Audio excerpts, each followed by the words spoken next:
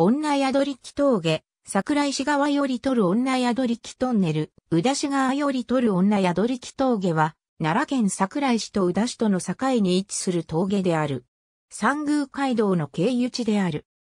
現在は国道166号の経路となっているが、峠前後の約 1.5km は急な勾配やカーブ、冬季の凍結の危険性などのためにトンネルによる振動が建設され、2007年10月7日より供用が開始された。従来の経路では桜井市川の途中、急カーブの場所で、宇田市灰原方面から来る奈良県道198号が接続していたので、現在はその道と直線化して、灰原方面への短絡路として機能している。また、峠を越す道路も閉鎖されていない。なお、桜井市川では、途中には 1km 以上に及ぶ直線の坂道があり、ここでは勾配が10%を超す箇所があり、途半車線も設置されている。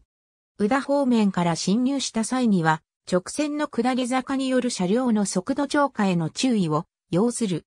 宇田市川では、女宿力トンネルによって急な坂道は解消されている。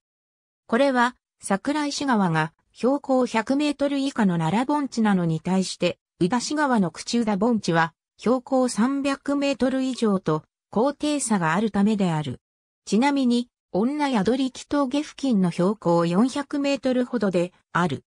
明治21年にそれまであった峠道が改修され、荷車が通れるようになり、奈良盆地と宇田方面とを結ぶ幹線道路となったが、近世以前は女宿力峠よりも南にある半坂峠の方が使われていたようである。